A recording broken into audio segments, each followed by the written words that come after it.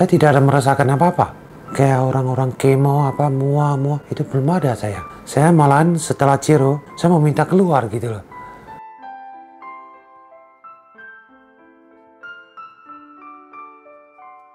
Saya Ramli Rukiana, saya dari Batam, Indonesia.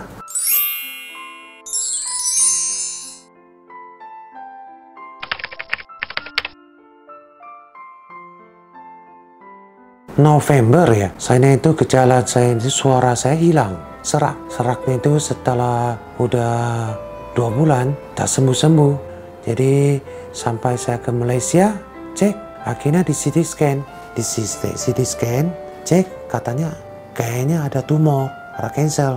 Di sanalah saya mulai mengecek, saya cek di internet karena ada saudara-saudara saya yang dulu pernah obat di sini, tapi dia nggak ingat di hospital mana lagi. Dia itu sudah 30-an tahun. Sampai sekarang masih sehat-sehat. Tak pernah balik lagi ke sini semenjak dia dia berobat di sini. Makanya di dalam otak saya itu kayaknya di Cina itu bagus. Jadi waktu itu kan saya tidak tahu mau ke mana, saya cari-cari di internet. Saya cari internet, ternyata saya dapat ada berapa rumah sakit lah. Uh, salah satunya adalah Modern Cancer Hospital. Cuma di sini waktu pertama yang buat saya narik adalah di sini hasilnya cepat. Katanya itu biopsi cuma butuh tiga hari, dua sampai tiga hari. Tapi kalau di tempat lain katanya sampai dua minggu, tiga minggu.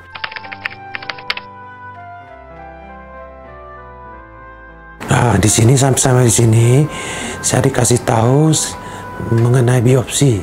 Ya, ada apa hasilnya? Setelah hasilnya, mereka sudah tahu obatnya. Disarankan ke saya bahwa saya harus jeru, jeru, intervensi. Saya setuju. Nah, saya setuju, saya lakukan. Kedua kali, saya cek hasil saya.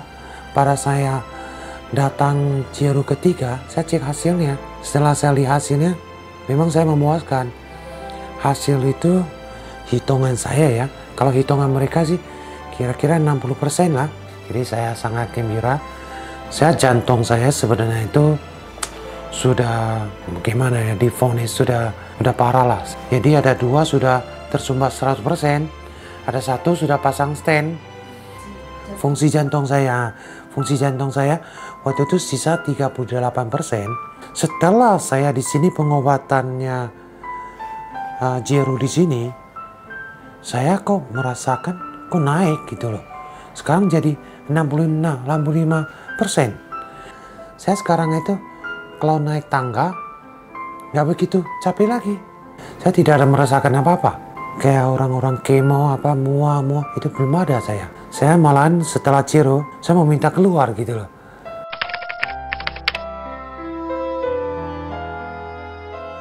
Saya puas dengan dokter di sini karena kenapa? Saya lihat Guangzhou ini agak beda dengan daerah lain. Bedanya di mana? Kalau saya lihat di Malaysia atau Singapura atau bahkan Indonesia, di Cina ini saya lihat ini kayaknya kerja satu tim, satu rumah sakit gitu loh. Jadi banyak sekali dokternya itu melibat gitu loh. Jadi dari sana sudah memberitahu ke kita macam mana pun kerja satu tim itu tentunya hasilnya lebih bagus gitu. gitu. Lalu ini saya sudah bilang-bilang sama teman-teman saya bagus ini, sama saudara-saudara saya juga, sama karyawan-karyawan saya. Karyawan saya kan di Batam itu kan ya mungkin ada hitung-hitung mungkin ada 200 orang lah ya, karyawan saya. Jadi saya udah kasih tahu dia, kasih tahu di sini bagusnya kayak mana gini. Udah saya kasih tahu gitu loh. Saya tiap hari di sini keliling-keliling saya seperti kayak dokter aja gitu. Tiap hari satu kamar jalan-jalan jalan saya tanya kondisinya gimana? Gini dari mana? Ada yang dari Malaysia ada dari Singapura ada dari Amerika juga ada. Karena di sini teman-teman saya di sini Malaysia yang sudah difonis tidak bisa sembuh lagi. Di sini sembuh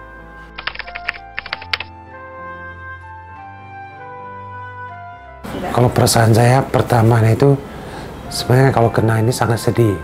Sedih sekali. Sempat tak mau buka. Mereka sapu ke saya tetap harus ngomong. Istri saya sudah ikut saya. Ke mana saya cek dia ikut.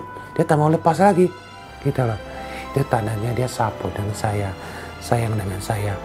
Jadi saya sebenarnya butuh sekali sapu kayak gini gitu loh. Sehingga saya semangat semangat itu sangat penting gitu loh. Kalau kita semangat kayaknya kayaknya semuanya oke-oke aja kamu saya gitu loh.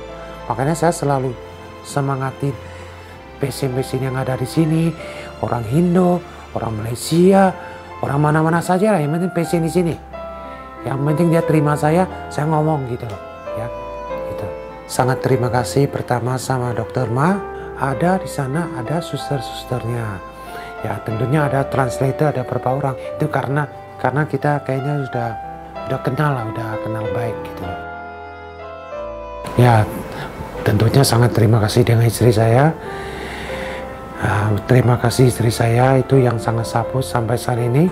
Ya.